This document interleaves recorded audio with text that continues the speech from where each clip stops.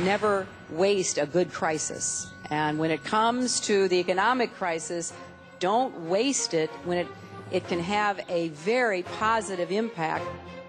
You never want a serious crisis to go to waste.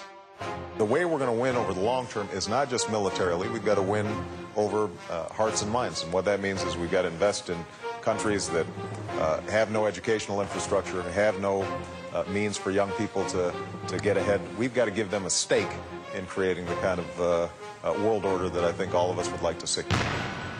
Stay tuned for politics and religion.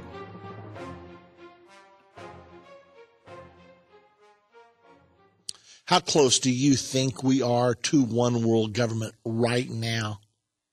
Now, before you decide, listen to this article. Britain urges global deal on bank tax. Britain stepped up its push for a global tax on financial transactions Monday as part of broad plans to reform the banking sector following the financial crisis amid concerns that the U.S. may act alone. Prime Minister Gordon Brown insisted that his proposal for an international levy on financial transactions are gathering support around the world. Okay, now let's make sure we understand what we're saying here. Gordon Brown, Prime Minister of Great Britain, is proposing that there be a global tax passed. Now, this is not new to those of us who follow this on an ongoing basis because we've known for a long time that the one worlders have been salivating over a global tax. They have been attempting way back since in the early 1970s to push a method of global taxation. Now, here's their logic. They want the United Nations to be a bona fide one world government. It cannot be as long as it depends on the charity of nations to supply its money. Because if it gets too radical or does something that powerful nations do not want it to do, then all the nations have to do is turn off the spigot on the financial supply and the United Nations, the global government, is hamstrung. So they don't want to tolerate that. What they have sought for a long time are independent sources of revenue. They want to pass some kind of a global taxation system.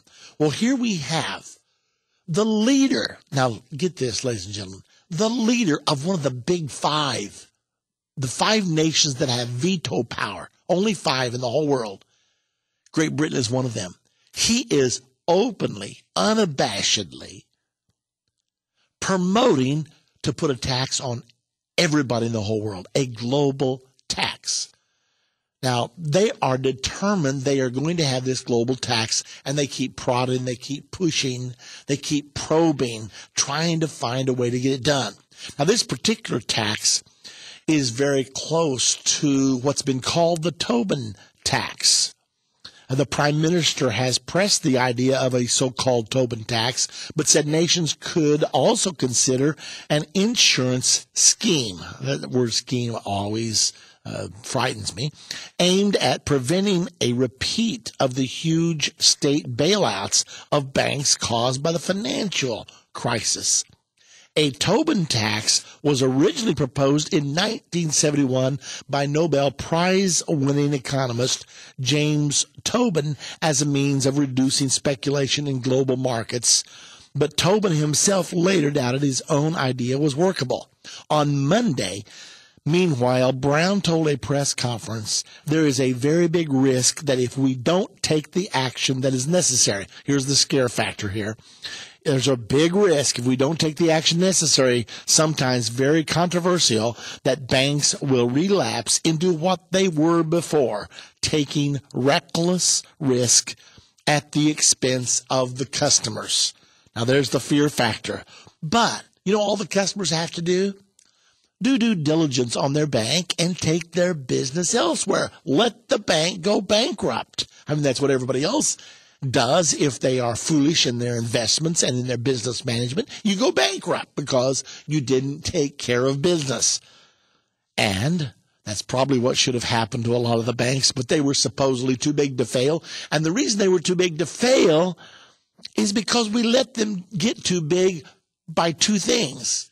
By taking the controls off the size of banks. Used to, they could only bank within certain geographical areas, but we took the controls off of them and the American government refused to use their monopoly busting powers. And so right now they're closing down all the little big banks. Are you seeing these notices? I don't know whether you go to the Drudge Report, but if you go there, uh, every Friday or every Monday, they'll have a little list of all the banks that were shut down over the weekend. They always do it over the weekend.